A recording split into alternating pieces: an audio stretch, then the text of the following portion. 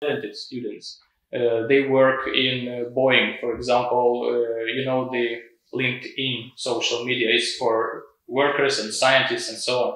So you can check more than 500 our students, KPI students. They work in uh, Boeing.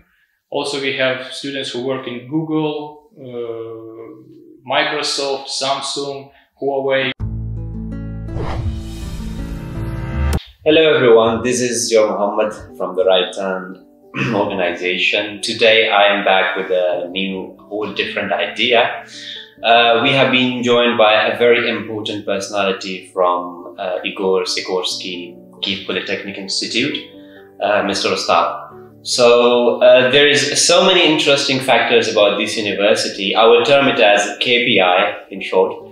Uh, so let's not spoil it for you uh, and let the man talk about it himself. So, Mr. Ostap, would you introduce yourself? Uh, it's nice pleasure to meet you all, and uh, my name is Ostap Olinik. I am the head of the preparatory department. Uh, I'm working with foreign students starting from their arrival to Ukraine, start preparatory courses, and then actually I lead their training till the end of the university bachelor degree, master degree, and even PhD degree. Okay, so coming to the questions, I had a few questions for you, which I know student would be interested to know the answers for. So the first question is, uh, many students asked, how many campuses uh, KPI currently has functional?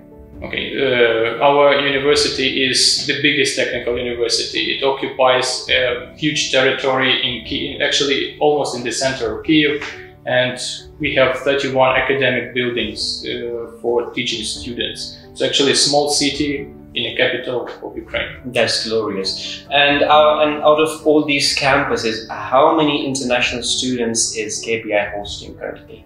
Uh, currently, we have more than 750 foreign students from almost all the world. Uh, can you uh, briefly specify which countries you're referring to? Uh, actually, from every continent. We have students from Europe, it's uh, Poland, uh, France, uh, Russian students uh, from Central Asia, China, Pakistan, India, Middle East, Saudi Arabia, Yemen, North, Northern Africa, South and North America. Also, we have students from that countries, but not so many. Actually, leaders are students from uh, China, India, some Pakistan students, Turkey. We have even uh, Australian, New Zealand students. So actually, in total, it's uh, 58 countries are represented in our university. That's huge. That's huge. So uh, coming to the next point, uh, students might be interested to know how many dormitories or hostels this university owns or arrange for international students. Uh, actually absolutely every student that arrive to us to study in our university, 100% uh, are uh, everybody can use the dormitory. Everybody are accommodated in dormitory. Uh, so we have two kinds of dormitories. Looks like the hostel mm -hmm. and uh, usual students' dormitories. Mm -hmm. So mm-hmm. absolutely everyone who arrive here are provided with dormitory. Mm -hmm. I see, I see. So, any there are sort of uh, regulations inside the dormitories that a student has to follow strictly. Uh, yes, uh, in our university, uh, when new students arrive, uh, we actually try to put uh, freshmen, it's young students, new arrival, we put them in clean, new prepared room, and after they are accommodated, the students actually are responsible for clean, uh, for furniture, for uh, food preparing, and so on, so on. So, so uh, we give for students good conditions of life, but after this, they have to control these same conditions for future years. So we have very strong rules, and when students are starting living there, they have to put the signature under all the rules we have in dormitories. So absolutely no smoking, no alcohol, uh, no sound from 10 p.m. till 8 a.m. So all students have possibility to sleep. So if some conflicts, we have the staff who can regulate all these problems. So actually the students have enough time and they have all conditions to sleep, leisure and study. I see, I see. So I think it's enough talk about dormitories and uh, campuses. Let's talk about the university itself, which was the main aim of this video.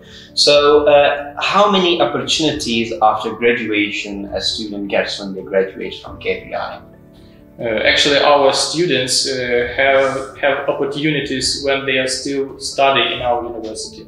So our uh, bachelor's, master's students, they actually start working uh, during their training. They have enough skills, knowledge to start working, to start some projects, scientific, IT, uh, some modeling, some uh, design projects when they still are students.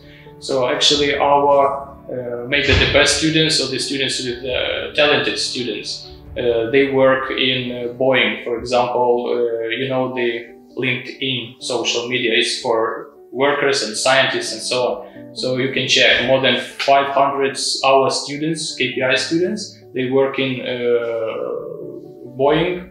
Also, we have students who work in Google, uh, Microsoft, Samsung, Huawei. It's a big names. Yeah, so so many our graduates work there that actually Huawei, Bosch, it's Germany, Bosch, uh, Boeing, they opened their laboratory, laboratories in our university. So actually our students, when they prepare their bachelor master degree diplomas, actually some small problem from these industrial giants. So after this, they actually can work with that companies. Wow, so no surprise since we know it's KPI. Yes, yes. yes. So uh, what you mean to say that they contribute not in uh, just uh, private enterprises, but the state-owned enterprises and the state uh, organizations like uh, military, uh, air force, and something like that. They contribute in those areas as well. Yeah. so in our university, our university is technical university. We also have the management, marketing, uh, linguistics faculty, so on. But main field of our university is tech technicians. So uh, the main fields very strong and worldwide recognized uh, about our university. It's IT, so IT number one in Ukraine.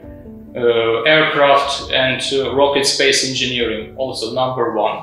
Uh, we actually work with our uh, agency of military forces. We design unmanned aircraft vehicles. Actually, they are already taken to military forces and work.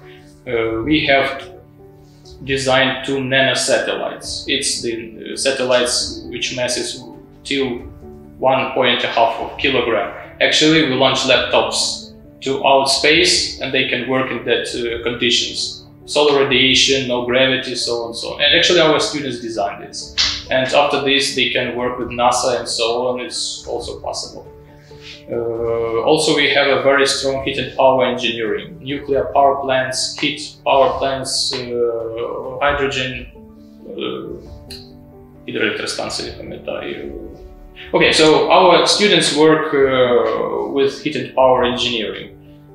And, and, and, and uh, also we have very strong chemical school. Uh, our chemists actually design new technologies for water purification full cycle of water purification and they have uh, international projects with Europe, with Asia, with United States how to clean water. So we actually represent full, full field of modern technological uh, directions. Well, it seems like there are so many things in such a little time. I'm sure that the time would not be enough if we start counting the achievements the KPI is attributed with. So would you please highlight some of the few major achievements or you can say honors this uh, university is attributed with? Like, like few of them, few majors. Okay, uh, as you mentioned in the beginning, uh, we are called National Technical University of Ukraine, Ihor Sikorsky Kyiv Polytechnic Institute. So from 2016, our university has the name of Ihor Sikorsky. This is our former student. Actually, he started uh, built his helicopters here in KPI, actually near the main building. He had the laboratory where students could create these heli helicopters. Uh, he immigrated to United States and uh, opened there a very huge company which products helicopters for United States and uh, the last presidents of USA they uses his helicopters. You know, uh, Airbus, uh, Lockheed Martin, but the president uses Sikorsky helicopters. So maybe some reasons. I see. Uh, as well, uh, you know Mendeleev. Yes. Everybody, everybody knows. Sometimes yes. they see periodic table. Yes. But the first periodic table was designed by Mendeleev. Made our life very difficult though. So when you visit, when you walk around uh, on our campus, you can come close to academic building four. It's chemical uh, academic building. Uh, on the front of this building is the monument of uh, Mendeleev. So it's the chemical building. So actually, uh, he was the member of the commission who took exams of our students. So we have actually the rooms uh, and the uh, lecture halls where he actually had lectures.